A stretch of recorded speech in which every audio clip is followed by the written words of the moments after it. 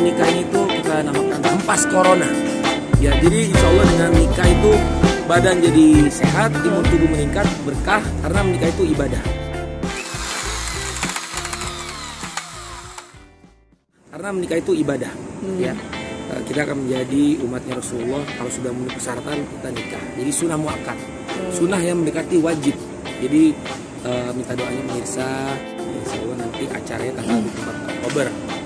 Tadi udah bilang juga ke ibunya anak-anak ya, Mama Georgia, terus juga ke Bunda Dewi Persik sama ayah Angga Wijaya. Ya insya Allah pada datang. Allah. Bang Ocit juga saya udah bilangin, saya bilangin langsung nih orangnya. Bang Ocit, Aneh mau nikah tanggal 24 Oktober. ya. uh-uh. Jadi saksi atau apa ntar Nanti ambil amplop yang banyak ya. Ya udah ya udah. Oh, sekarang aja. rencana dia nanti mau jadi saksi. Oh. Saksi eh, Saksi bisu. bukan, saksi kucing berantem. Iya. Jadi gitu. Kita sebagai teman. Oh, boy gue. Terima kasih. Kado terindah buat sobat kita. Ini batako. Mbak, gue cemilan ini enak. Ini kado terindah. Lu temen gimana sih, Cang? Ini, lu, ini kita kita umpamakan ini jodoh ini seperti Buat belum, buat aku, buat apa?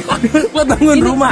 Bener, bangun rumah tangga ya. kita bangun rumah tangga yang utuh dong. Waduh, Cakep. Ini filosofinya. Filosofi. filosofi ini loh. Filosofinya saya suka, ya. Filosofi bener-bener suwe. ya, jadi gitu lah. Ah, insya Persia- Allah, hmm. eh, ya persiapannya terus kita eh, jalani ya. Karena ya ini kan boleh dibilang eh, Aldi kan terakhir waktu acara itu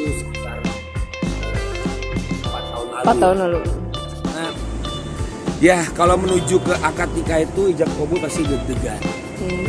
Sama waktu Bang Ocit juga ijab kabul sama istrinya dia deg-degan. Istrinya paling deg-degan. ya kenapa gue mau sama dia? Itu. Pak, permisi Pak. Eh, nyari siapa Pak? Enggak, saya mau pesen bir peletok. Ya jadi seperti itulah kira-kira. Nah Aldi anak-anak sendiri seperti apa nih Aldi? Sudah sebegitu dekatnya dengan calon istri. Alhamdulillah. Jadi, anak-anak sendiri Anak gua, Eh, anak gua. Oh, bukan anak gua. Bukan. Oh, gua kira. Ya udah. Tapi eh, anak Bang Ocit sekarang udah punya anak ya berarti Udah punya cucu. Oh. udah jadi kakek-kakek. Iya nggak apa-apa.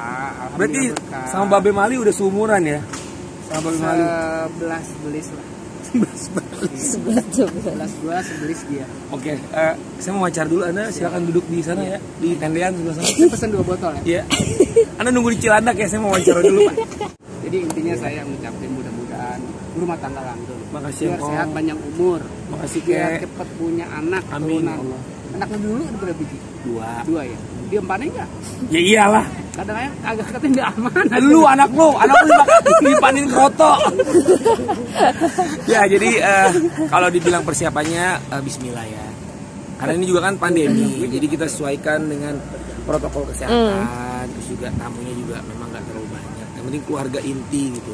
Acaranya insya Allah ntar akan kita di Palembang. Oh.